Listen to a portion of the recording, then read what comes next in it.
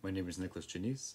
I'm a postdoc at Rutgers University, and I'm presenting our paper, Improved Discrete Gaussian and Sub-Gaussian Analysis for Lattice Cryptography. This is joint work with Daniele Micciancio, Chris Peikert, and Michael Walter. Part 1 Motivation and Background. So it seems that every time a discrete Gaussian analysis arises in lattice cryptography, a specialized theorem is proved in whatever paper this, this arises in, even though many times these theorems, they all are morally the same.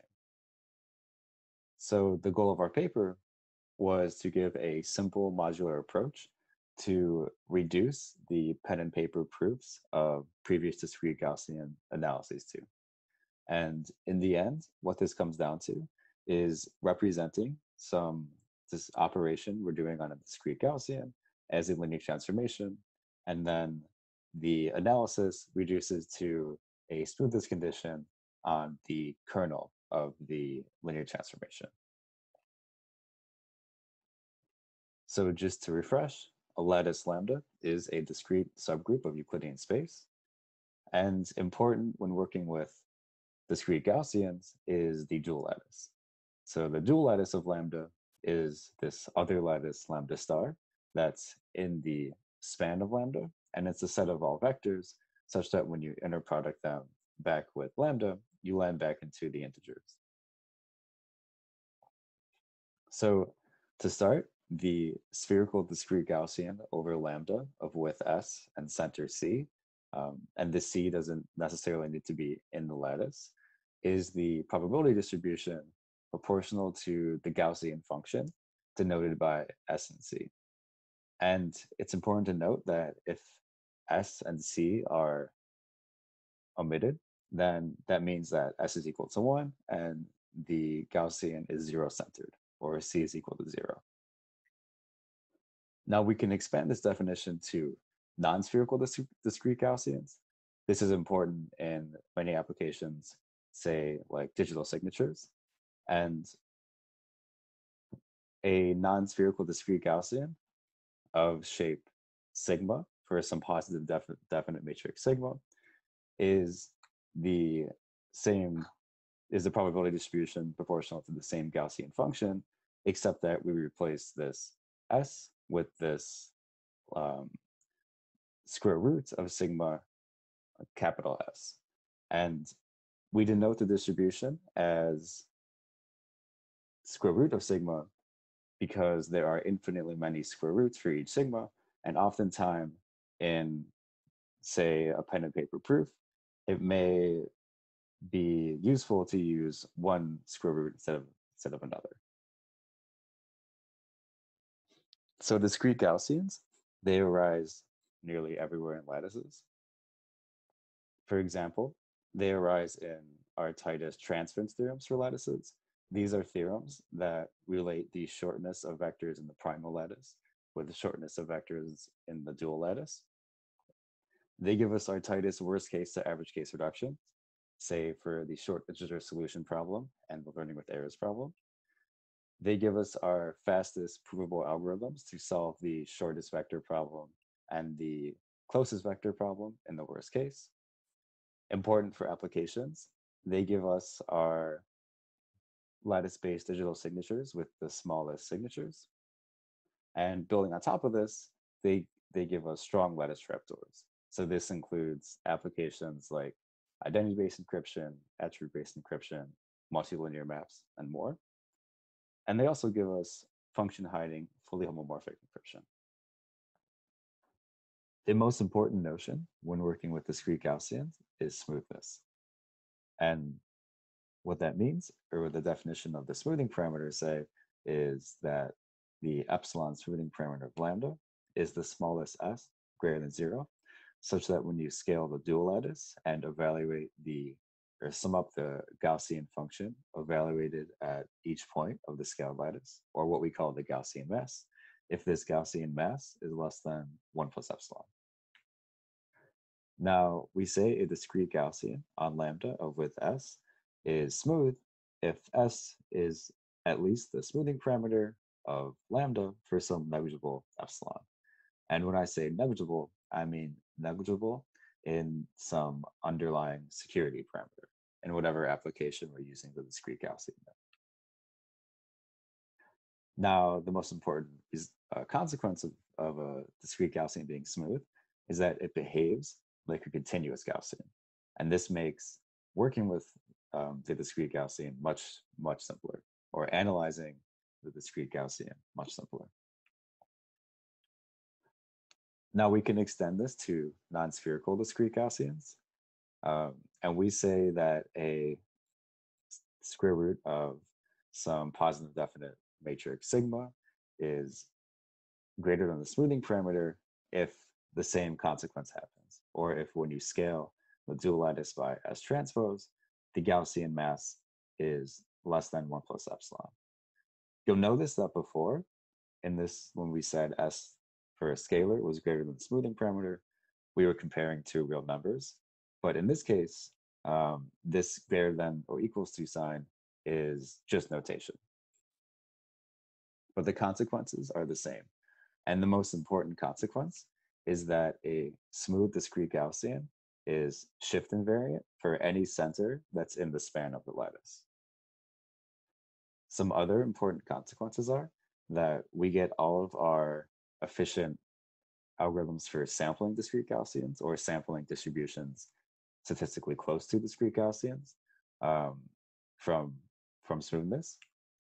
And importantly for cryptography is we get our tightest worst case to average case reductions for the short integer solution problem.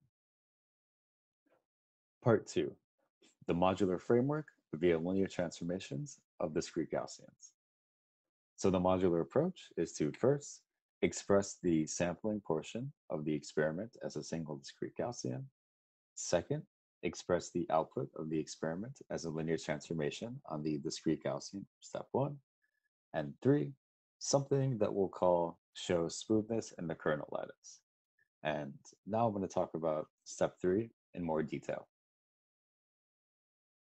So the underlying question is, when is the linear transformation of a discrete Gaussian, so something that's represented on the left, statistically close to sampling the, a discrete Gaussian over the transform lattice coset with the, with the appropriate covariance. And in short, we need two conditions to hold. First, we need the kernel of the linear transformation to be spanned by lattice vectors and lambda. And second, we need the um, the underlying or the, the initial discrete Gaussian of shape S or of square root sigma to be smooth in this kernel lattice or the lattice intersected with the kernel of the linear transformation. So more concisely, we need a smooth full rank kernel lattice. When these two conditions are held, then the linear transformation of the this discrete Gaussian is statistically close to sampling a discrete Gaussian over the transform coset with the appropriate covariance. So let's go over the simplest example we can think of. And the simplest example would be just taking two independent discrete Gaussians and adding them together and asking when is their sum statistically close to the discrete Gaussian that we would expect. So let's sample x1 over a lattice coset A1 uh, with S1 and the same for S2. Let's sample these independently. And the output of the experiment will just be summing x1 and x2.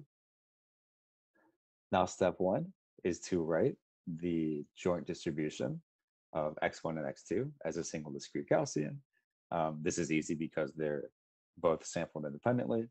So it's a discrete Gaussian over the Cartesian product of the cosets with the appropriate diagonal covariance. Now expressing the output as a linear transformation is easy. We just take um, x1 plus x2, that's represented by this t, which is the these two identity matrices concatenated. And now we're analyzing this linear transformation on the joint distribution. So the linear transformation theorem says all we need to show is that the kernel is full rank.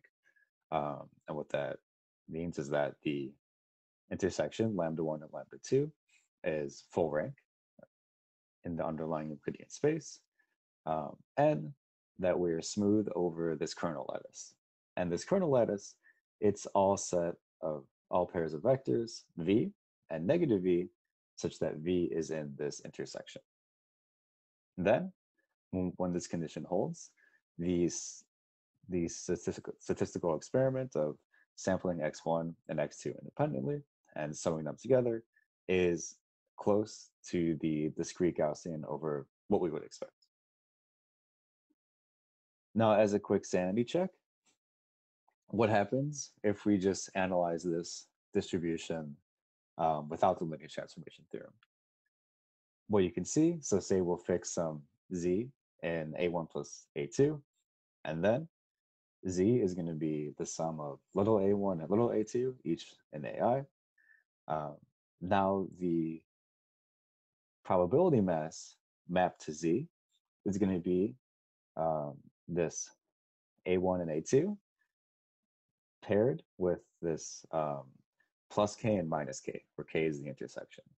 So right away, you see that one step of analyzing the, the distribution uh, reveals the kernel lat lattice naturally.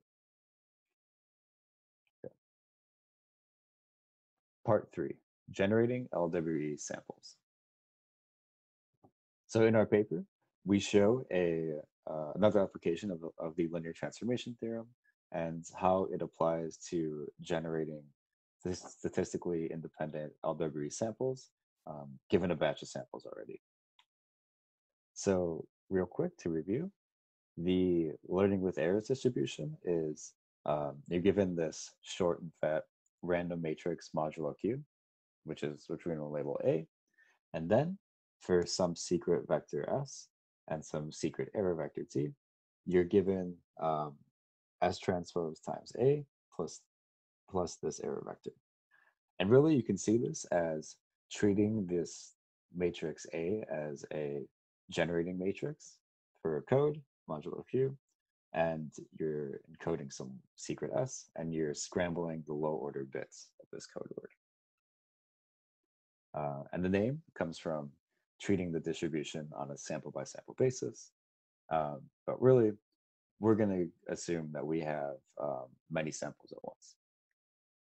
Okay, so given m, which is going to be n log q LWE samples, we want to generate new samples with the same LWE secret, um, such that these new samples are statistically close to independent. And the result we show in the paper is that the linear transformation theorem gives a more direct proof with a slightly tight, tighter analysis. And what I mean by that is that previous LWE self, self reductions, self reduction proofs, uh, artificially added continuous Gaussian noise as an intermediate step, and this would slightly um, increase the output noise. Um, but it's important to note that the algorithmic steps of the reduction in our paper and previous reductions are the same. Part four, sub-Gaussian random matrices. So as a secondary contribution of our paper, we give a concrete analysis on sub-Gaussian random matrices. So our motivation were um, lattice trapdoors for the short integer solution problem. Uh, if you recall the SIS problem, or here I'm going to go over the inhomogeneous version, is you're given a short and fat random matrix A modulo Q, and you're given a some um, coset vector U modulo Q. And to solve the problem, you have to produce this vector X with integer entries such that its coefficients are small, and the matrix vector product A times X is equal to U modulo Q. Um, and of course, X has to be non-zero if, if U is zero, and we make this rigorous by a norm bound beta. Um, we get to give the norm as just the Euclidean norm. And really, this is the lattice problem on the lattice coset. Um, where here, this is given by the q-ary lattice defined by A, um, where we have A this is the lattice coset given by all integer vectors x, such that a times x is equal to u modulo q. Okay. So the, the trapdoor scheme where, where these sub-Gaussian matri matrices arise is the MP12 trapdoor scheme. Uh, you could think of this as a signature scheme where the verification key is this SIS matrix A, and the secret signing key is this um, trapdoor matrix R that's random and has small integer entries, such that when you matrix multiply A times R, you get this mm, um, gadget matrix modulo Q labeled as G. And this gadget matrix, it's really any matrix such that the SIS problem is easy. And algorithmically, um, the trapdoor inversions, they're they're sampled as a discrete Gaussian over the appropriate lattice coset. Um, and the reason we're worried about these sub-Gaussian concentration bounds is that the width of the discrete Gaussian scales linearly with the with the largest singular value of the random matrix R. Now you could always implement the the scheme and measure the the largest singular value to get an idea of the, the security. But really we like to know the hardness of the scheme before implementation. Okay, so the way we'd analyze these singular values is through sub-Gaussian analysis. So a random variable x is sub-Gaussian with parameter s if its tails are dominated by the Gaussian bound for, for s, with us. Um, some examples are discrete Gaussian and also uh, uniform random variables over a bounded range. Uh, so say plus or minus one. And a random vector is sub-Gaussian if it's sub-Gaussian in every direction. Or equivalently, it's if it is its inner product with some with a unit vector u is sub-Gaussian for all unit vectors u. Now, given a random matrix with independently sampled sub-Gaussian rows, we are now concerned with its singular values or tight concentration bounds on its the, the matrix's singular values. Um, and for the remainder, here we're going to assume m is larger than n. And again, we're going to denote S1 as the largest singular value. So a problem with previous concentration bounds is that they have these unknown constants floating around. So one common concentration bound is if you have independent sub-Gaussian entries with parameter s, then the singular largest singular value of r um, is bounded by this constant, some unknown constant, times the sub-Gaussian parameter, and then um, some quantity that depends on the dimension and the tightness of the bound, T. Now, if you have um, a random matrix with independent sub-Gaussian isotropic rows, um, by isotropic, I mean that this cross these cross variances are zero and that uh, you just get the identity matrix as the covariance matrix. Um, then the largest singular value is bounded by this square root of m, or something that depends on the dimension, and then plus a unknown constant, and then a quadratic dependence on um, the sub-Gaussian parameter times um, the smaller square root of the smaller dimension. So one would expect that if you have say a covariance sigma or some some variance sigma that the largest singular value would scale with that. And in our paper, that's what we show, but we also extract the exact constant. So using the techniques of the, the previous theorems, we show that um, the constant in the concentration bound is actually actually around 38. And then also that the whole quantity scales with the standard deviation. You'll notice that this constant is really too large to be to be useful in applications because because of the square root dependence on the dimension. So instead, um, we come up with a heuristic and we verify it experimentally.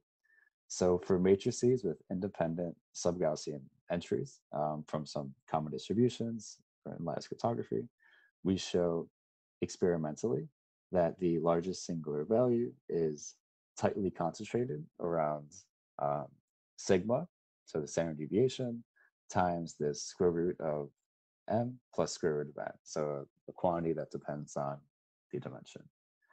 And for continuous Gaussians, this is this is a theorem known as uh, Gordon's theorem. So really, well, what what our heuristic says is that for um, common distributions and independent entries from these common distributions, they really behave, or the, the singular values really behave like they were drawn from um, a continuous Gaussian. Thank you for watching my presentation. So in conclusion, we give a simple modular framework for analyzing operations on discrete Gaussians, and we give a concrete analysis of sub-Gaussian matrices.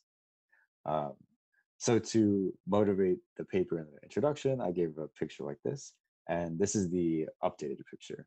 Um, the dark rectangles are all explicit or shown in our paper, and then the, the light rectangles um, are results that are not shown in our paper, but are ones that I believe to, to hold true, or I've, I've worked them out offline. Thank you for your time.